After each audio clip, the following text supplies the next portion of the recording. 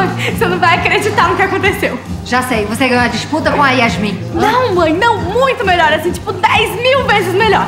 A quadribanda me pediu pra eu ser a fã número um. De joelhos. É isso aí, garoto. Aí, moleque. Até que enfim, né? Caiu a ficha, cara. Eu tava achando um absurdo essa história de cogitar uma outra fã que não fosse a minha filha. É, o importante é que a galera voltou atrás. A gente tava numa confusão aí por causa da prova da fã. Chegou até a pintar Yasmin lá, imagina. Ai, meu Deus, a prova da fã. Tinha me esquecido disso.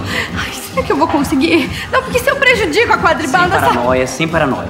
Se a galera te escolher é porque bota fé em você, porque confia.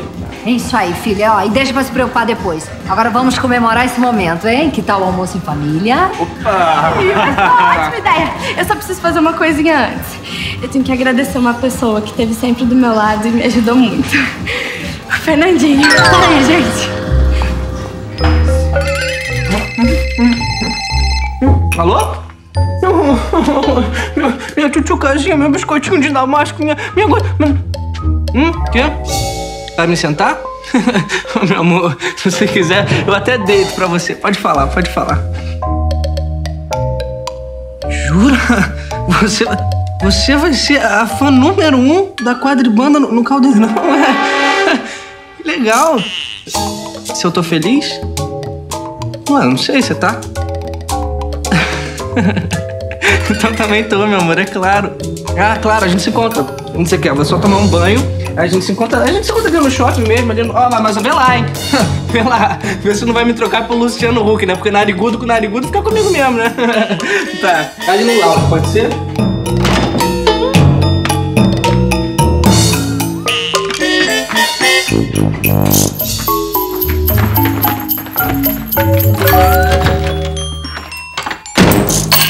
Doutor, mas eu tenho motivos para acreditar que o Luciano está com o Calazar. Não está. Essa não é uma área de incidência da doença. E o senhor sabia que ele esteve numa área de incidência da doença oito meses atrás? Não. Você não se deu ao trabalho de perguntar isso. né? Mas me deu o trabalho de dar ao Luciano acesso aos melhores exames desse hospital. Isso sem ele poder Eu pagar. sei, doutor. Não é isso que eu tô dizendo. Eu sei que o senhor tá fazendo o melhor que pode. Eu, eu agradeço em nome do pai do Luciano, mas. O problema, doutor, é isso aqui, ó. Isso aqui o quê? O centro médico? É pequeno, eu sei, mas equipado com o que existe de melhor em tecnologia. Tanta tecnologia que vocês só pensam em doenças urbanas, né? Ninguém pensou em pesquisar uma doença como o Calazar? Calazar é uma doença negligenciada, né? Tipo, o mal de Chagas, a febre amarela. É doença que pouca gente presta atenção porque dá mais nas pessoas pobres. Como é que você aprendeu isso, minha filha? Trabalho na escola, pai. É isso que o Luciano tem?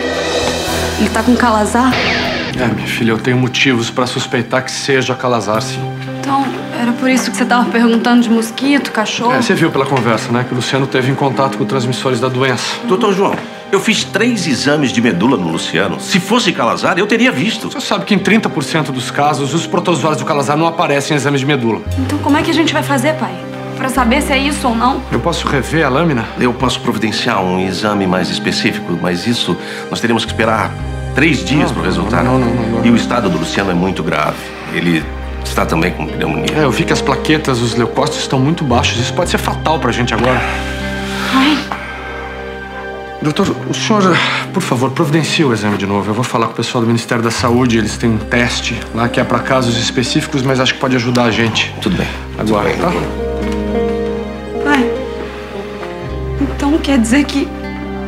que se o Luciano tá com Calazar, ele pode morrer? Não, minha filha. Se ele for diagnosticado a tempo, receber o tratamento certo, não. Mas eu não vou mentir pra você, meu amor, que é um tratamento bem complicado. Senti o vazio.